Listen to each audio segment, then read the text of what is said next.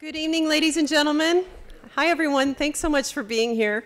I'm Carrie Coogan. I'm Deputy Director of the Kansas City Public Library, and we're almost a month into our 2020 programming, and we're so excited about the speakers and all the presentations that we have lined up for you next month and for this whole year, both here at the library and also at our beautiful downtown location at the Central Library. I hope you'll visit us down there as well.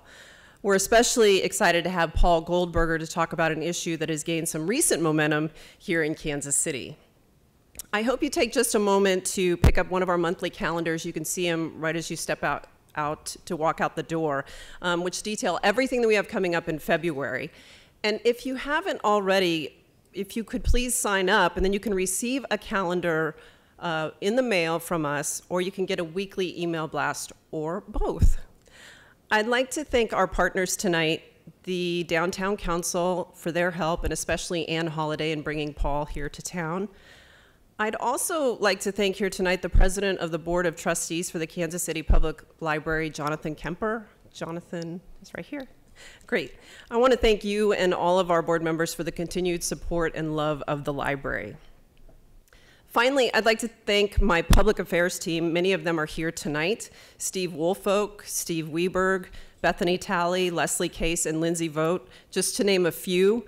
These are all of the hardworking people, the incredible dream team that works tirelessly to bring you this top-notch programming all year long. Okay, so I know that everyone in town is thinking about football right now. I don't have to explain that, do I? but tonight we're going to talk about baseball. Paul Goldberger, in his book Ballpark Baseball in an American City, says that a downtown baseball stadium, if done right, can be a financial boon as well as a crown jewel for our city.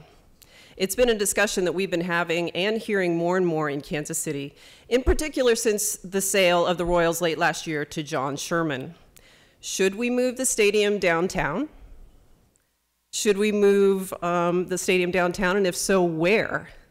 And most importantly, who's going to pay for that? Goldberger, a Pulitzer Prize winning architectural critic, offers some much needed context he tracks the evolution of baseball's taste in stadium location and design, and especially why that matters to a city. The trend right now from Baltimore to Pittsburgh to Denver to San Francisco is to put them downtown and design them to add to the character of the urban core. Paul will be joined in tonight's conversation by Kansas City's own Whitney Terrell, an associate professor at English at the University of Missouri, Kansas City. He's also written a review of this book, which you can find online on LitHub, Literary Hub. Um, Whitney, as most of you probably know, is the author of three novels, and he also co-hosts a podcast on LitHub called Fiction Nonfiction. Whitney has been a long-time supporter and partner with the Kansas City Public Library, and we are so lucky to have him living right here in Kansas City. Please help me welcome Whitney Terrell and Paul Goldberger.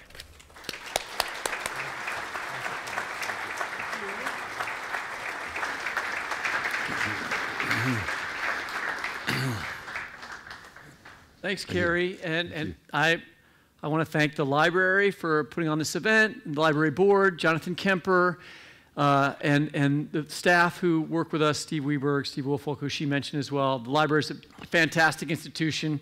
We're very lucky to have it. Look at this awesome auditorium. So, um, speaking of uh, great public spaces, this, yes, is, this yes. is one.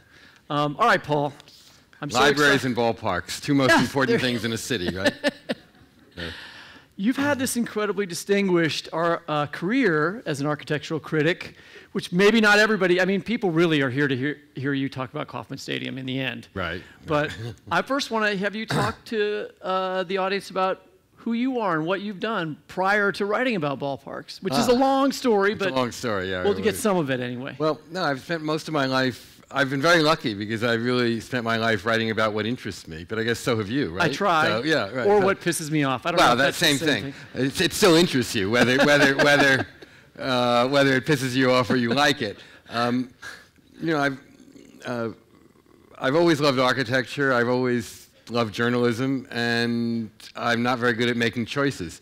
So I found a place where the two of them intersect, and have spent most of my life writing about architecture. But did you study architecture? Studied architectural history. Okay. Um, I went to Yale, a place that those of you who went to Princeton don't always acknowledge, but nevertheless, I heard about it. Uh, yeah, it's a little little school, a little bit In to a the, little bit to the north of right, right, in, Okay. in, in, a, in a place called Connecticut, and um, uh, studied architectural history, art and architectural history, and uh, then began a career as a journalist. I toyed with going to architecture school, but I I thought the world had enough second-rate architects; it didn't need another necessarily. And I uh, did think I was a pretty decent writer, so I went that route. What was it like working as a working at the New Yorker, for instance, which Yeah, is a, that, I mean, that I was the second chapter of my career. I started at the New York Times and then went to the New Yorker. I, I mean, I have. Maybe we could talk about either one. What was? What's the difference between working at the Times and the New Yorker? Those are two great jobs to have as a they, journalist. they were in incredibly, I mean, the two great institutions in many ways. Um, the difference is kind of the New York Times is like a huge university. Uh-huh. It does everything and has amazing people and a huge range, but not everybody is necessarily, you know, uh, it, it, it- There's some stoners and yeah, yeah, uh, they're right, right, exactly. It- it's, it's sort of a mixed bag. I mean, everybody's at a certain level, obviously, but not necessarily, you know, the most amazing. Um, the New Yorker was like a small liberal arts college right.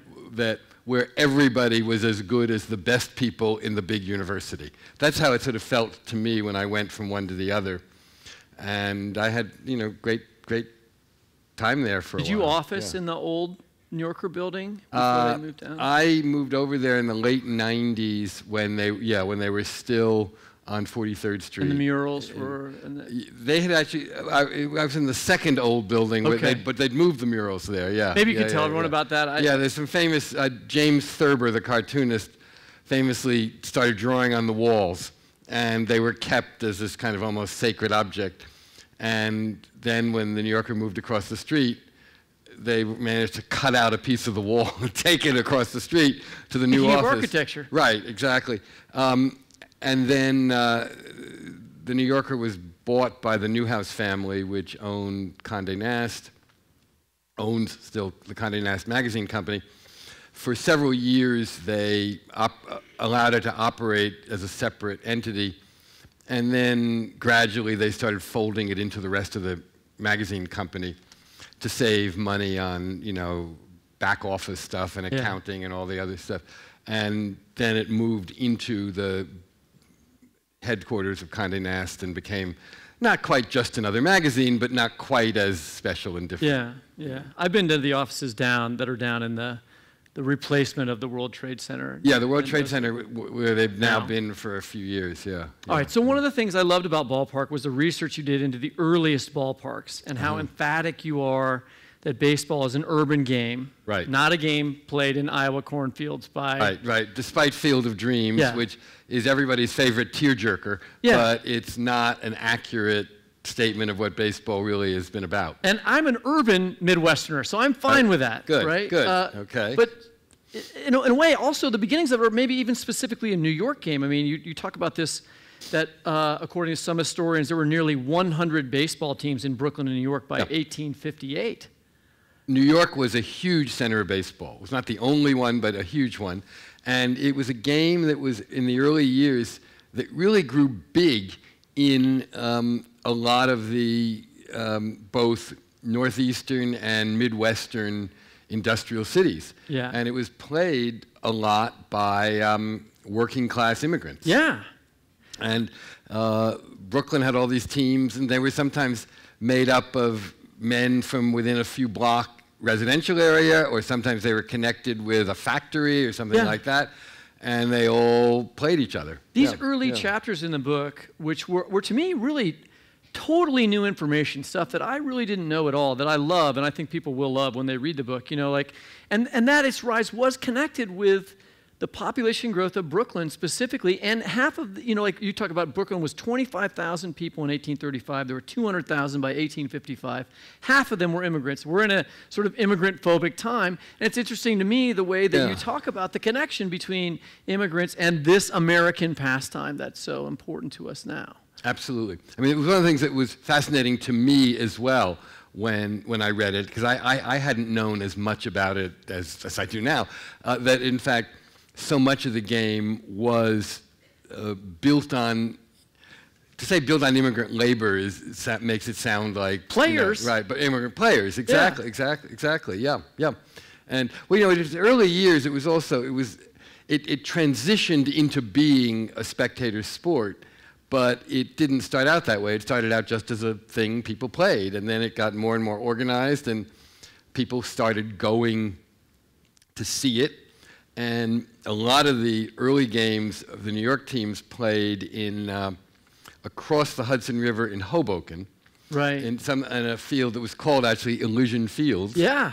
And uh, but then. Uh, and you mentioned like yeah, there's yeah. one part in the book where you talk like, well, they played a lot of games in Madison Square because it was an open space. I was like, oh, that's where Madison Square Garden is yes. now, right? No, no, no. No, I'm wrong. The the first Madison Square Garden oh, okay. was at Madison Square. But there's just an uh, open the field. The one that's that there now in. is the third. Yeah. Okay. Yeah.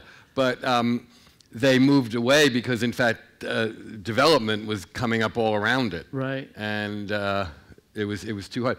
Uh, you know, while I talk a lot in the book, and the theme of the book is really about how baseball is more a city game. Yeah. Nevertheless, it was it tended to be played kind of on the outskirts because even in those 19th century years, even when land was cheap, cities were also growing and developing really fast in this country and you, you didn't put a ball field right in the very central center of the central business district next to the bank. Right. You know, even then, you needed more land and it was too, it was too expensive. So they would be kind of on the edge, but the cities were growing so fast that those parcels of land were often then surrounded by development and became in the center of a neighborhood. So speaking of Fenway Park is a good example yeah, of that. and we're going to get to that, yeah, yeah, which yeah, uh, I've never been there, but you're going to tell me all about it. Um, speaking of immigrants, you have some interesting passages in the book where you talk about the bifurcated world of baseball spectators, just a little later than the period we're talking about yes, now. Yes, yeah. You know, in your book, one half of this world is represented by Chris von der Ahe, a German immigrant who bought the St. Louis Browns in the 1880s. Could you yep. sort of introduce people sure, to him if sure. they're not familiar with him? Um, well, this is a great story, and this is this is a, a Missouri story, um, even though it's the other side of the state. Uh, Chris von der Ahe was a German immigrant, a tavern owner, and who had like a. Oh, I'm sorry, I'm going to get to this later. Go ahead. I interrupted. But he, he had a beer station in the yes. outfield of well, his baseball. Well, he bought the St. Louis Browns right. because he thought it would be a good way to sell more beer. Yeah. And he opened up a kind of branch of his tavern, I guess, is the, the only balls thing you would could like call roll it. in among the chairs, like the... a little beer garden out in the outfield that was the, the sort of branch of his tavern from down the street. And then he had he was good at cross marketing because yeah. he also had the waiters in the in the actual tavern dressed up in in Browns uniforms. So he was pushing both directions.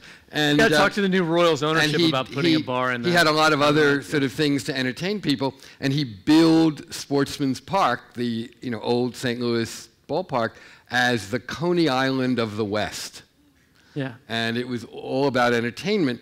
So you know, if we think that there's too much distraction in ballparks today, it has a long, a long history. But he was like a working class. He wanted a working class audience. He kept yes. ticket prices down to a quarter. Mm-hmm. He served beer. He did all this other stuff to sort of yep. draw in working class. It was all about entertaining the working class. And that yeah. was like American League, sort of, eventually. It was something, he was part of some of a group of teams that were officially called the American Association. Right. Um, it was colloquially known as the Beer and Whiskey League. Okay. and that's um, the league I wanted to be in. The beer, right? The Beer okay. and Whiskey League was the cool thing, clearly, um, and it was their um, opposite number was the National League. Yeah. Now, the American Association guys. is not the uh, root of today's American League, but the National League is the root of today's National League, and it started out trying to make exact push baseball in the opposite direction. It was all about making it more Presbyterian. Presbyterian, good word, exclusive, virtuous. Uh, they had rules about there was no baseball played on Sunday. There was no alcohol served in any of the ballparks. Um, and it was all about how baseball represents virtue and, you know, uprightness and every noble thing in the American character. But a lot of those things were actually code words for a certain kind of elitism. And keeping and, out the and keeping out the riffraff and so forth. Would yes. fight and yes. get we drunk. would allow they would allow the riffraff in where, where they could make money from them, but in fact, in many of the ballparks then, particularly the National League ones, uh, there was a very rigid economic segregation. So Yeah. you know the bleachers were completely separate from the rest of the ballpark. You couldn't walk from a cheap seat into the grandstand area. You had a separate entrance, separate bathrooms, Oh, really? so forth. Yeah, it was, uh, it was a very rigid economic segregation. But some of that, you know, to be fair, was kind of the weird way people did things in those days. You know, the um, old Metropolitan Opera House in New York, which was built in 1883, Yes. um, around the time that baseball was getting bigger and bigger and a lot of the very stuff we're talking about was happening, um, the upper balcony, the cheapest seats, were called the family circle, and you entered them from a separate door on the street through their own lobby and their own staircase, and it never connected to the main lobby so that the fancy people didn't have to mix with the poor people upstairs. So there was a kind of expectation of economic segregation in those days that was considered strangely normal by both sides of the equation for a while. Your avatars for that are, well, because we know in Kansas City that that Chicago, nothing good comes from Chicago. Uh, William Hulbert, who owned the White, Chicago White Stockings, Yes, he was the founder of the National League. and then Albert yeah. Spalding, who everyone will recognize because of Spalding, which still is Spalding still around Sporting Goods. company. He actually founded Spalding Sporting Goods.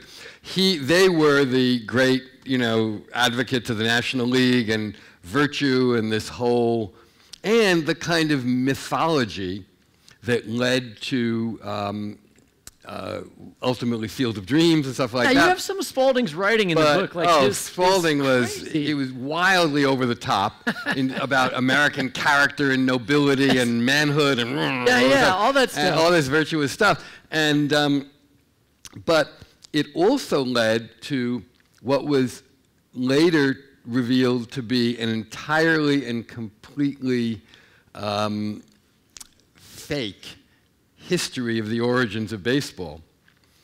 We, uh, the, the National League commissioned a sort of study, or actually all of Major League Baseball, a sort of study commission Right. on the history of baseball that determined that uh, it was invented by this man named Abner Doubleday on a field uh, in rural Cooperstown, New York, which is why the Baseball Hall of Fame is in Cooperstown. Uh, baseball historians subsequently discovered that that was basically a fiction created to further this myth of kind of rural virtue because since cities were considered dirty and messy and again full of immigrants and all that uh, this noble game could not possibly have really had its roots there so they devised this history and it uh, carried the day enough to get the Hall of Fame built in Cooperstown. But in fact, now even the Hall of Fame itself has acknowledged that it was pretty much made up. So, what is thought to be the actual origins? Do you know? I don't. I don't. I, I don't know. Um, yeah, there's a, a wonderful uh, guy named John Thorn, who's a fantastic writer, who is now the official historian of Major League Baseball, who wrote a book called Baseball in the Garden of Eden. okay. and it traces the early years of how the game itself developed. And in fact, it developed from many games, uh, some of which are English games like not only cricket but rounders. And there were different versions played in different areas. Uh, a lot of it was in New England. Some There's round- no like James Naismith. there's no moment. single moment is like, James basketball. Naismith with basketball. Okay. No. Ah. And they tried to pretend Abner Doubleday was that, but it really apparently wasn't. And then it all kind of gradually came together, and as it got more and more popular, there was apparently one set of rules played in New York and another in Boston and so forth.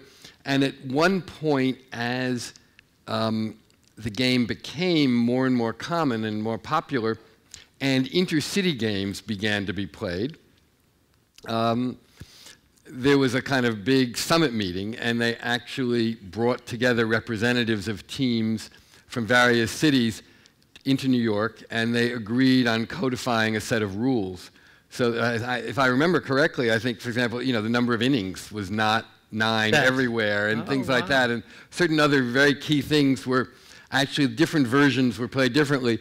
Then, beginning in the mid 19th century onward, those things were more, were more um, codified.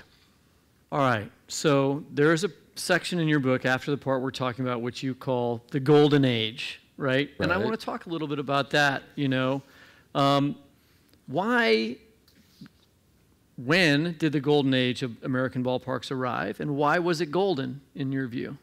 Okay. What makes it? Well, the golden age, I- I, I guess I should say first, the, uh, there was an age before the golden age, which, as things were getting bigger and bigger and baseball was becoming more and more popular and becoming more a spectator sport, Yeah. um, the, the fields with a few seats became more and more elaborate and the constructions became And bigger and more elaborate. They were all built And of started burning down. And they started burning down. and um, the most elaborate of all was this amazing thing in Boston called South End Grounds that had these huge Victorian towers, and it really was Beautiful picture of that in the amazing. beautiful. yeah. It only lasted I, I, something like eight or nine years, and it burned down. And um, turned out the owners had underinsured it, so they couldn't afford to rebuild it. And um, uh, but then, as fireproof construction became possible, Right. steel, concrete, and so forth, uh, they began to be built that way. And baseball was becoming still bigger. Remember, it was other than a little bit of boxing, it was essentially our only professional sport in this country. Right. And um, uh, I- another thing, uh, let me digress for half a second to Oh. say that another thing that contributed to its growth, by the way, and this is another wonderful reminder of how baseball connects to everything, um, was the development of intercity train service.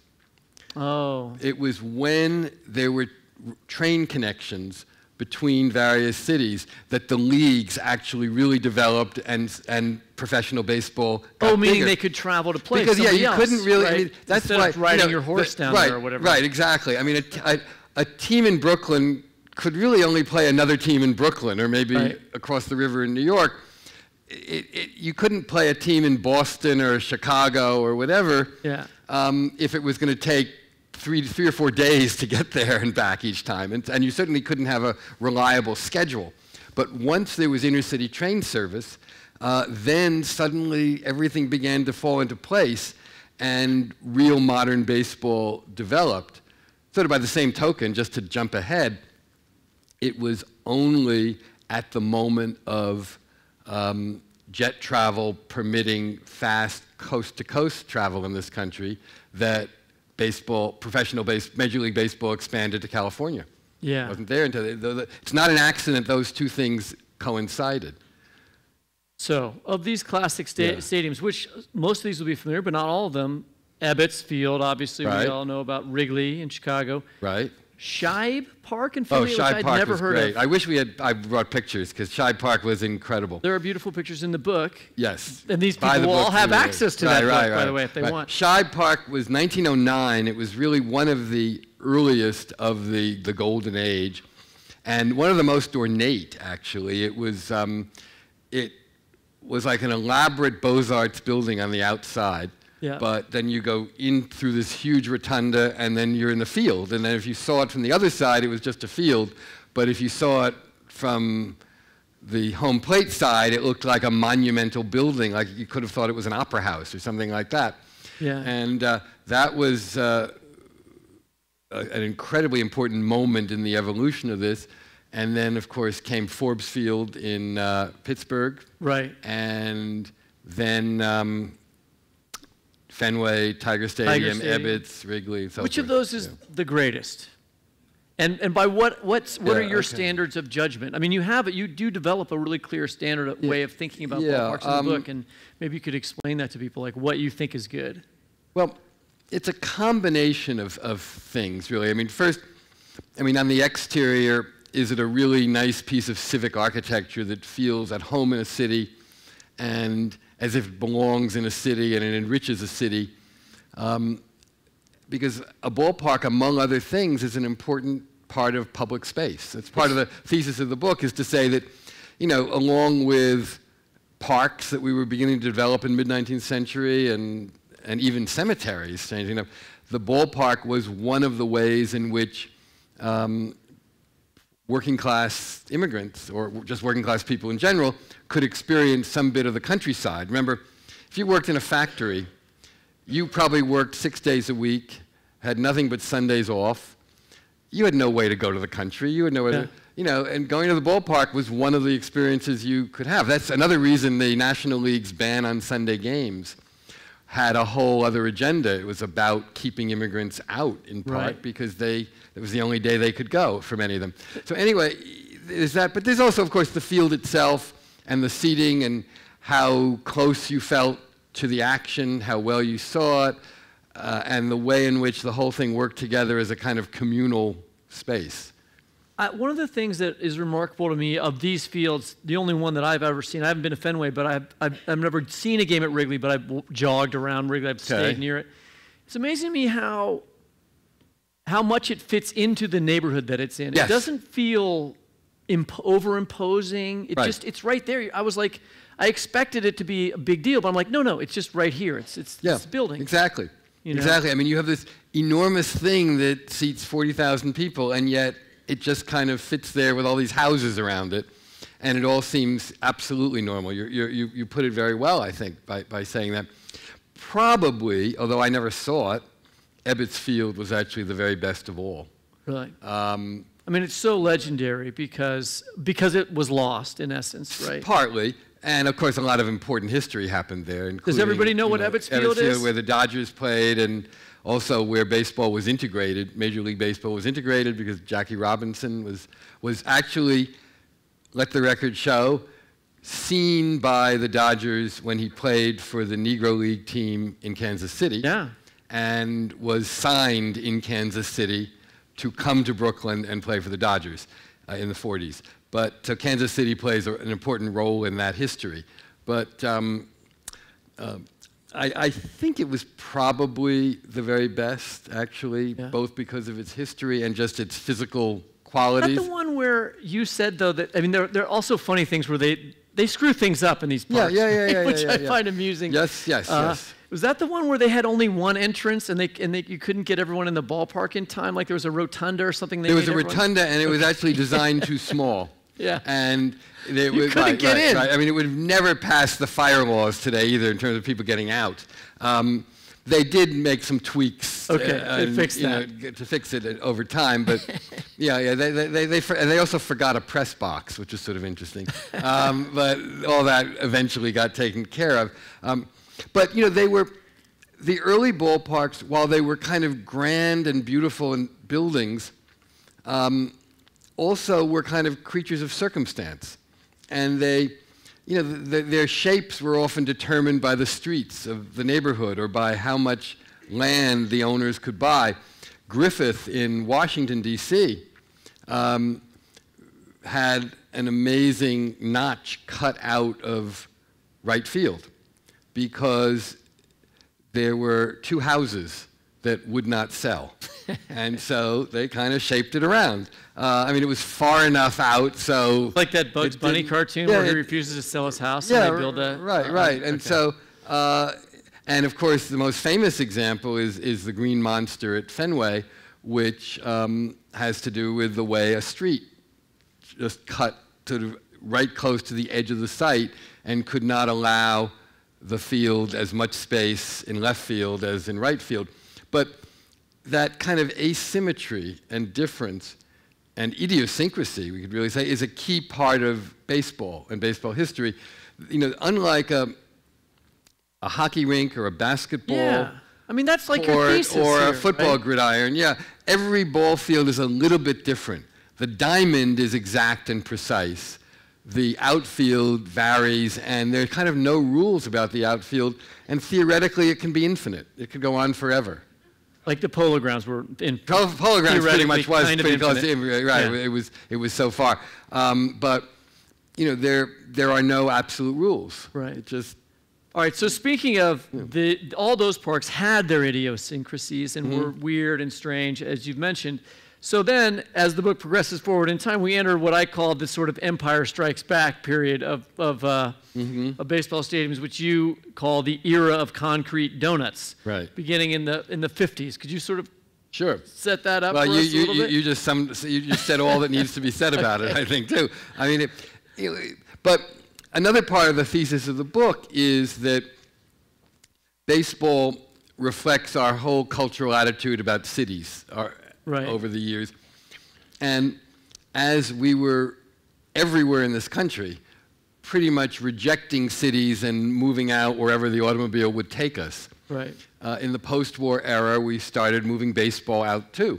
Um, So this is like Cleveland's mistake by the lake. Is one? Is that part of that? Cleveland's mistake by the lake is almost in a category by itself, I would say, because it was built. It was built in the late 30s when Oh, nothing that else was earlier. being built I at all. about that. And what it actually did was it, it's actually the beginning of a very um, uh, pernicious trend, which was municipal financing of stadiums, which uh, nobody else was doing then, and Cleveland just decided to do it Right. and uh, it, it opened a lot of bad doors, I would say, and it was actually a, a, not a good bo- uh, stadium because it was far too big. It was 80,000 Yeah. seats, and it, it was bad on so many levels. And Cleveland is. But it led to know- one great movie, Yes. which I just recently watched with my son. So Uh-huh. it's still, that Major League holds up. I'm sure you guys are familiar with it. That's all set there and that. Anyway, Yeah, so the, true, the true, other, true, what are other concrete donuts that were the, the Well- worst, the most egregious offenders? Of Most that era? egregious offenders were probably uh, RFK in Washington, Yeah. um, Veterans Stadium in Philadelphia. Oh my God. I went to a Pink uh, Floyd Three concert there. Rivers in. Pittsburgh. Um, oh, Candlestick in San Francisco. Yeah. Truly horrible place. Um, and uh, oh, and there were plenty of others. Yeah. Uh, and then, and then actually even worse was the later part of that generation when they foolishly thought that the way to solve the problems of those things was to put roofs on them. So we got things like the Kingdome in Seattle, which is truly the worst place in which I have ever seen a baseball game in my life.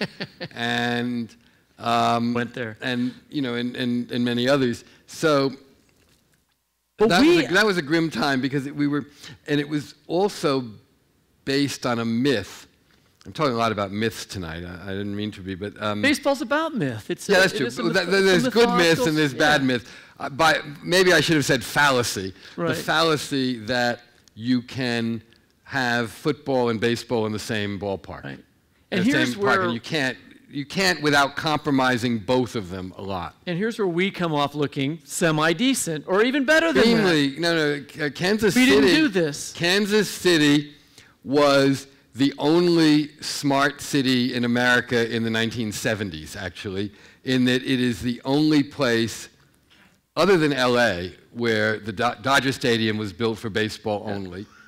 But between, in the post war era, for several decades, only Dodger Stadium and um, uh, Arrowhead and Kauffman were built uh, as baseball only places.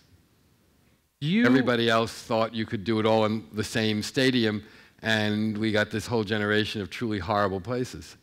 You're very complimentary about the about the architecture of that stadium. Although you point out that one of the things it doesn't do is be irregular because it's Right. you know set in an open space. But what are the things that you think are good about Kauffman? Like what makes it work as a stadium? What makes it work, I mean, I'm, I'm mixed about it, but the first thing that has to be said about it that's really good is that it was built as a baseball park, not a multi-purpose stadium. Right. And again, you know, Kansas City deserves credit for making that decision.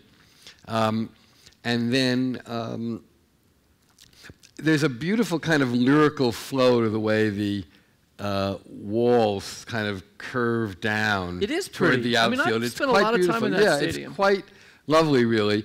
I mean, if you see it from the home plate side, it looks a little more like a lot of other big concrete stadiums. outside of it? it's not so yeah. much when you're walking in the stadium. It's not so beautiful. Right, right. And they, you know, they've, they've done a lot of work on it in the last generation when uh, the team decided to stay there and, and uh, re-up. And I think it's actually better and more comfortable in some ways than it was before. Uh, but the, the nicest thing is that kind of lyrical thing in the outfield, the way the sides go down, and then, you know, the waterfall and the scoreboard and all that stuff, which is kind of a cool relic of a certain mid-century style that's, that I like a lot. But Yeah.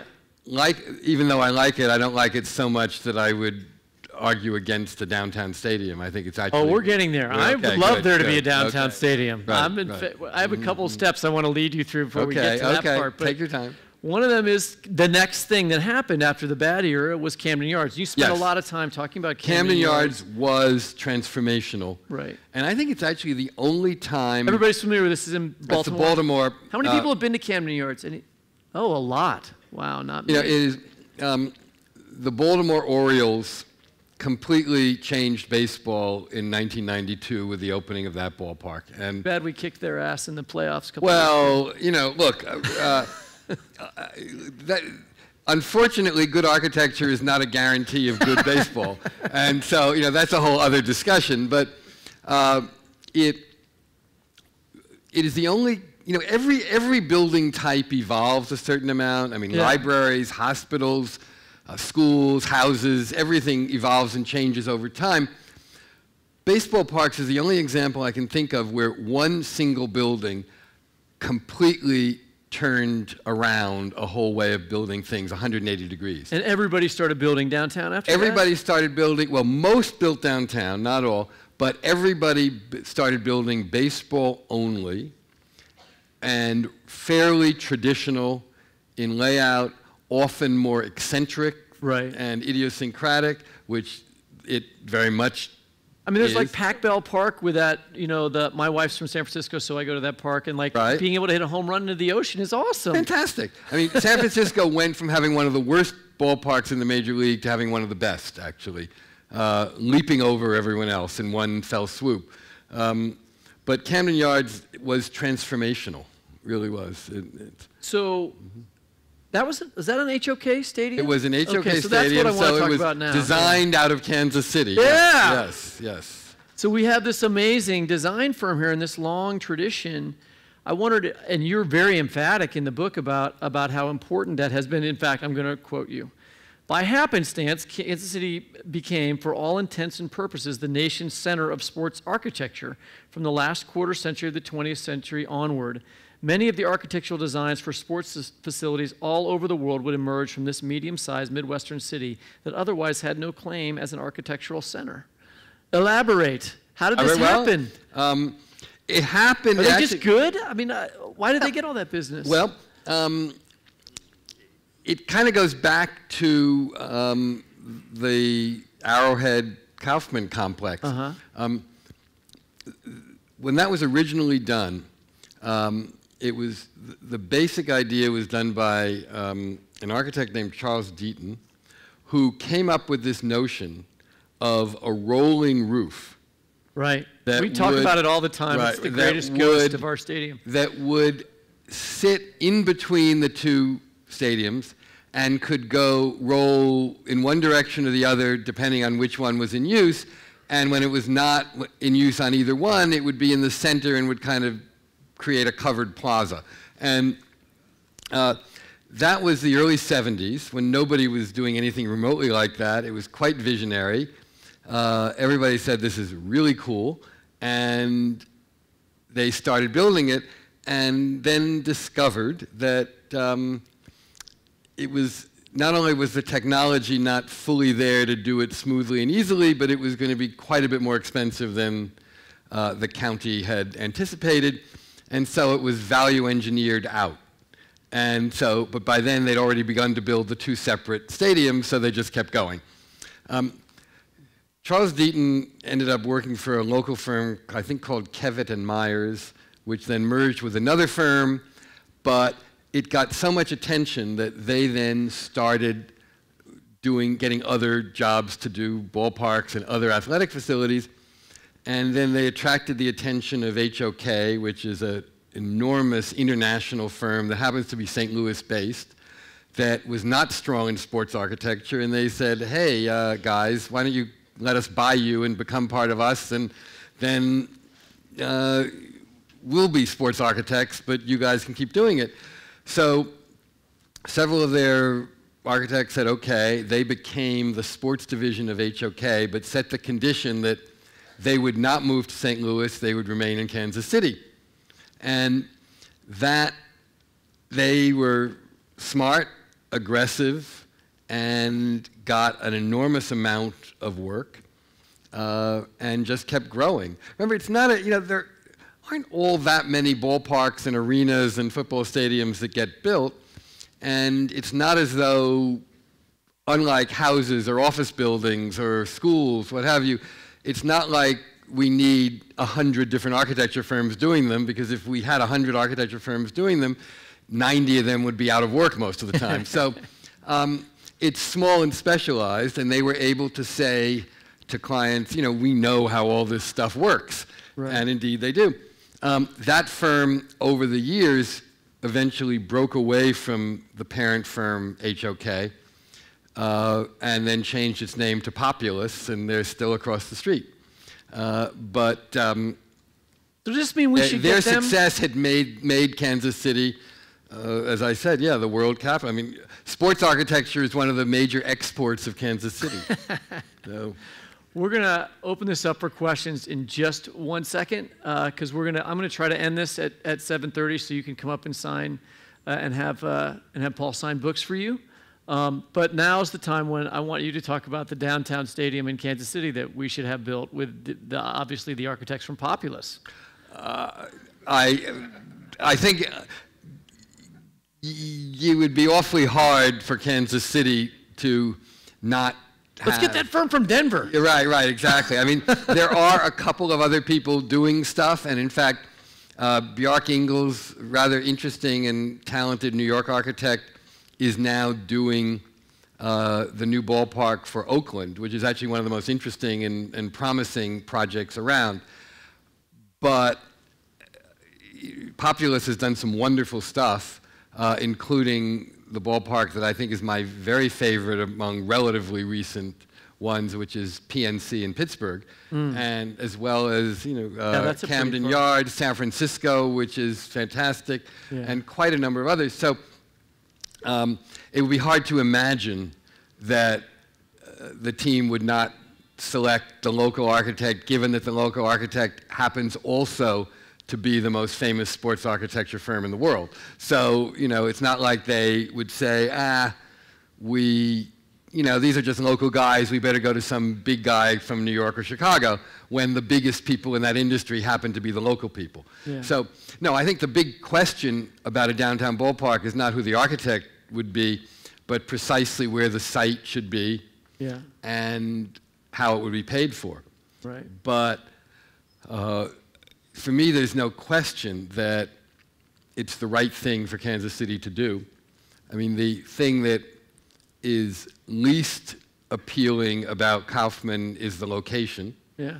Um, and the there fact never that was any economic development around the no, stadium. No. It's just you know if you drive out there. That's right, in kind of a nowhere place, huh. And you have to drive to it and from it. It's surrounded by a sea of asphalt parking spaces. It's not connected to anything, and uh, what we've seen in the years since um, Baltimore is how beautifully baseball integrates into a whole urban fabric. And people want that, they like it, they love being able to walk or take a streetcar to a game, they love being able to have something to eat, drink, go to other places, combine it with other things, and so forth. And that is all those things were available, by the way, at which you write about it quite a bit about at the old Metropolitan Stadium, which I yes. never saw, but was at what, 18th. Mun- municipal, municipal, sorry, municipal not stadium. Twenty second um, in Brooklyn. Yeah, twenty second in Brooklyn. So, yeah, yeah. You know that that was the site of, of baseball stadiums in Kansas City up until the, the 70s, and, and right. the Chiefs right. played there in their early. In fact, I think they were playing there the last time they won the Super Bowl. Speaking the Chiefs were which, playing there, and of course, um, but underscoring the point that, that a good ballpark is not going to work for football. Yeah. Because Municipal Stadium was so much a baseball park, so completely, right. and such, so good a baseball park in its layout and everything else. To make it work for football, they had to put uh, huge rows of temporary seating into Oh, the didn't know that. outfield uh, on one whole side. And as a result of that, um, the Chiefs could not play any home games for the first month of the season. Oh, that seems bad. it was it overlapped with the baseball season. So Wow. they had to wait for the baseball season to end before they could actually convert it to football use because it really was, was so much of a naturally a natural baseball park. I mean, and this is part of what your book is about too. And by the way, if you have a question, step up to the mic. Now's the time. No, no, walk right up here. Um, uh, my dad remembers and has told me stories about going to that stadium when the A's were leaving and it was known and nobody was there and getting a whole pile of foul balls because he would just run around and pick them up. Um, that was his memory. Right, right, right. So here we have our questioners. Okay. Thanks. Uh, I'm from Chicago, but I've been here 10 years, so I'm fully behind the local Are both teams. mics? Uh, How much would you say the longevity of Wrigley Field and uh, Fenway Park has to do with their locations? Um, You know, I know that all the Sturm und Drang over the lights, and when Right. Comiskey Park closed, even though that place, a lot of blocked view or no view, that was traumatic for a lot of old White Sox fans. But how much, you know, uh, their locations are so into the neighborhood. Completely. Um, I mean, I think it's a lot of different historical circumstances that led those two great ballparks from the golden age to be retained. Uh, we almost lost Fenway. I mean, the Red Sox, under the previous ownership, were working on plans to replace it. And then uh, the team in the end was, there's no certainty it would have happened, but they were serious about doing it. But then ultimately they sold the team. The, the subsequent ownership uh, decided that was crazy and that they had a sort of a great asset that if they could only upgrade and modernize gently a little bit, would be worth it, which turned out to be absolutely the case. Um, Chicago, yeah, I mean, it is, it is beautifully integrated into the neighborhood, and it remains one of the most beloved places there is. Um, on the other hand, so are other, other places that we, we were not lucky enough to keep. I mean, it's ironic that Ebbets Field in Brooklyn was lost, because it could be spectacular today, and now, you know, every, it went in the 50s partly because nobody cared about Brooklyn and the fan base had moved to the suburbs and so forth and so on. Uh, today, everybody wants to be in Brooklyn. And no, yeah. if it had a ballpark that actually, in some ways, was even better than Wrigley and Fenway in its heart, it would probably be the nicest place of all. But uh, it's, it's, there's always many, many factors. But yes, location is a big part of it. Absolutely, yeah. yeah. Yeah. so I know that in the cities with the multi-purpose stadiums like Pittsburgh, Philadelphia, Cincinnati, they knocked those down and built separate Right. baseball and football stadiums. Well, here we already have separate Exactly. baseball and football stadiums. So if they were to build the ballpark downtown, would they necessarily follow suit with football as well, or would they just leave Arrowhead where it is Um, and ha- I, I'm quite sure they'd leave Arrowhead where it is for a couple of reasons. Uh, one is my understanding is the Chiefs would actually wanted to acquire Kauffman as a practice field. Like like the, like they would turn the baseball field into a football field? Um, Right. But, well, not with seating, but they would use it as a practice field. Um, and so that's one, one reason. The other is that football doesn't fit downtown the way baseball does. I mean, I mean, football. You want a huge parking lot because Yeah, you know and there's tailgate. only Because- eight right, games right. a there, year or there are several reasons, and tailgating is a very important one of those reasons. The- It's part of the culture of football. Uh, people do tailgate. You need a parking lot, and so forth. Um, also, a football stadium is invariably bigger, um, and therefore, I think a little more intrusive in a city. Uh, base, a baseball park, while it's hardly small, is just enough smaller so it kind of fits into a city nicely and well. And then the final reason that I, maybe is the most important is um, a football stadium is used eight times a year. Right. a baseball park at the minimum is used 81 times a year, so it's 10 times as often. And the thing that kills a city is dead things that aren't operating. And so Right. it's, it's enough that we have, you know, every city needs a convention center, but sadly they're big boxes that are empty often. Um, we don't want another big empty thing all the time. So my strong argument would be leave Arrowhead where it is, let them expand and take over the whole complex, and move the Royals into downtown. And I guess, uh, well, and I don't mean that to, just um, to uh, stay that mic for so long, but whenever I see, whenever I, uh, whenever I see um, the, the, the, the, the proposal for a downtown ballpark service on Facebook, there are the inevitable negative Facebook comments. Well, how will ever, well, well, what will people do for parking? Well, how, how have they been trying to address that? They'll figure it out. I mean, they figured it out. You know, San Francisco has minimal parking and it seems to work. Um, most of them do. You know, you can have, first, there are more and more people living downtown, and more and more people will walk or they'll park in outlying areas and have a shuttle. Um, it will work. It, uh, it has, what has worked so well in, you know, a dozen or more other cities, including, by the way, Houston, which is one of the most automobile centric cities in the world. And they moved from the Astrodome into downtown, and it's worked. So uh, it would work here too. Yes, sir. In your book, you argue that HOK's original design for Camden was going to be another concrete dome. Right. So, without the pushback of Jacobs, Smith, and Right. Lucchino, Yes. would we just have a proliferation of concrete domes? Well, that's an interesting question. Um, there's no, yes, it is definitely true that the first scheme that HOK presented to the Orioles was, it wasn't a dome actually, but it was a more traditional concrete open stadium. Uh, in fact, the owner of the Orioles then once said to me, uh, I think what they did was run to Chicago and give that to the White Sox because the new Comiskey Park kind of looked a lot like Sorry, earlier White Sox guy. looked uh, a lot like what they tried to sell. There- And indeed, um, it opened the year before, so it's possible, given that it did take longer to build the Baltimore one. Um, anyway, uh, but then they, you know, they got it and they produced something quite wonderful.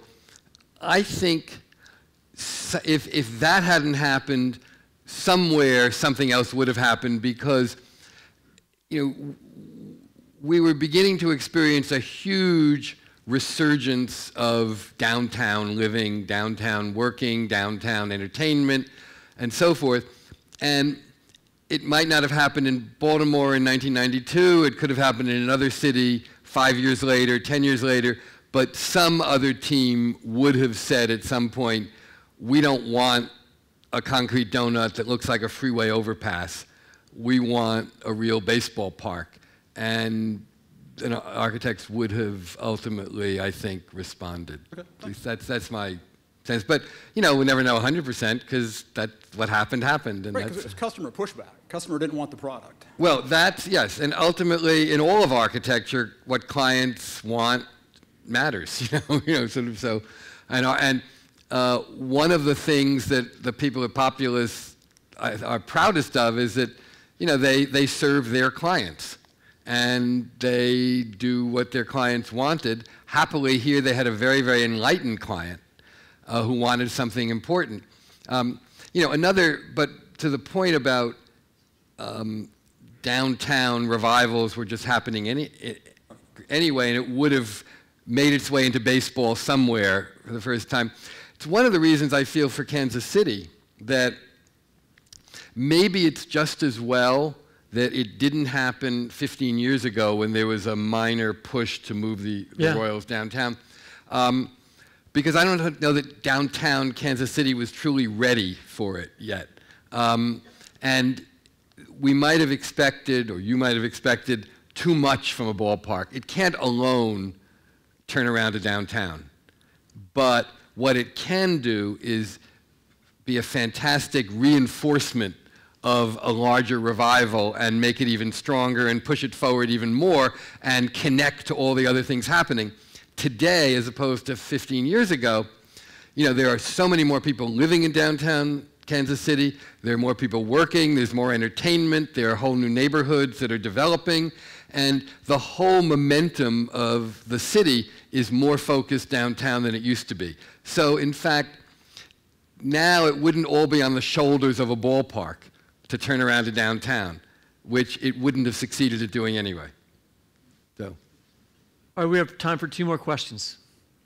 Well, I'm, I'm that White Sox guy. So I was curious, your impression, good and bad, of the old Comiskey? And the Oakland scheme. and The, the old Comiskey? Oh, the old Comiskey, And- sorry. And that uh, monstrosity of the new Comiskey, yeah. Well, I agree with you. I just said it. Um, it is. It's the last of the concrete donuts. It was. It opened one year before Camden Yards in Baltimore changed everything. Um, it was out of date the minute it opened, um, and it's a sort of sad story. Um, I gather, although I haven't been back to it in a while, that they a few years ago did some changes that people say made it a little bit better. I think a better way to put it is it made it a little less awful. Um, it, the best comment about it was from a really uh, perceptive writer named John Pastier, who's another architecture writer who loves baseball, who calculated that the front row of the upper deck at the New Comiskey Park is farther from the field than the last row of the old upper deck in the old one. Wow. And so much of baseball is about intimacy and how, how can you maneuver things so that the greatest number of people are the closest to the field and the most connected to the field, which is again another important thing that Camden Yards in Baltimore did. They actually really thought of that. Many of the concrete donuts are truly just circles that were about this abstract shape of a big circle because you could kind of put a diamond in it, you could put a football gridiron in it, it all kind of just could be plumped into a circle. But in fact, it doesn't work for baseball. Just very briefly, the good and bad of the old Comiskey? Of the old Comiskey? The good The old? Comiskey was, I, I thought was funky and nice. Um, it didn't have quite the truly beautiful appeal of Wrigley uptown. Um, it didn't have the magic of the brick wall and the ivy and all that stuff. It didn't integrate into the neighborhood as well. But it's a wonderful, it was a wonderful ballpark. And, um, you know, the best of those early generation of ballparks were, they were uh, among the only buildings ever built that sort of combined funkiness and monumentality, two things that are almost always mutually exclusive in architecture. And that one it sort of exemplified that. I mean, there was something kind of grand and funky about it at the same time. And it was, I, I found it very likable, uh, but not lovable, as Wrigley was always lovable. But, and it, but it was still a hundred times better than the new one. And you get the last word. Lucky me. Um, I was going to say I, I agree with you on all, on everything actually, and I would love to have. God, even my wife doesn't agree with me on everything. I, I'm better than she is. no, um, I would love to have. I'm all for downtown development. I've lived in Kansas City and watched it grow over the Right. years. Would love to have the stadium downtown. We have this one cultural part of our city, though, that is maybe not like other towns because we're from the Midwest and we're cattle and we're into barbecue. And you talk about football being a tailgating kind of sport Right, and baseball right. not. But here, tailgating is a really big part of baseball and i wonder how the general public that goes to those games and tailgates i mean they spend hours setting up their tailgates for the royals baseball games and it may not be as big as it is for the chiefs but i wonder. Right. they well, won't that's get an to do that question. anymore Yeah, yeah, that's an interesting question. Um, I don't have an answer to that. I would say that the tailgates at Royal Stadium, and I'm a season ticket holder and have been for 20 years, are pathetic and can just go away when we move the stadium i down. thought that's what he was going to say I- I'm, I'm going to I'm gonna defer to the local on this, actually. Um, I mean, look, um, I'm not a tailgater. I prefer to go to a restaurant myself, but I just I know there's a lot of people who tailgate. But you were kind. He said. Well, that. well, uh, but, you know, I, I defer to the local and his wisdom. Um, I said at the talk at the downtown uh, council this morning that, you know, any city that im- that is big enough to contain both Ar- Arthur Bryant's and the Nelson Atkins Museum has to be more interesting and complicated and wonderful than most cities in America. Thank you for and that so. I still believe that, and uh, you know, just do your barbecue some other time. Thank you. Uh, thank you. Could we give a round of applause for Thank Paul? you. Well, thank, thank you, Whitney. you.